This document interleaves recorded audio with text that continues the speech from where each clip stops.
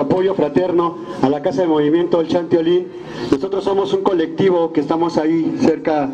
en el centro de la Ciudad de México y hemos también pues defendido cuando menos esa esquina de varios intentos de nos han querido arrebatar, pues ha servido para resguardar a varios movimientos en algún momento también pues ahí es donde nosotros desarrollamos pues varias propuestas culturales sobre todo y de esta manera pues apoyamos a las resistencias y a las luchas que se dan a lo largo de nuestro país. También pues haciéndole un reconocimiento ya que toda esta resistencia toda esa dignidad que manifiestan los compañeros de Xochicuautla y de todo el Congreso Nacional Indígena pues son los que nos dan a nosotros la pauta los que nos dan pues el nos, nos marcan pues el camino hacia donde nosotros debemos dirigirnos con nuestra resistencia, con nuestra pequeña contribución a este gran camino de la lucha y de la resistencia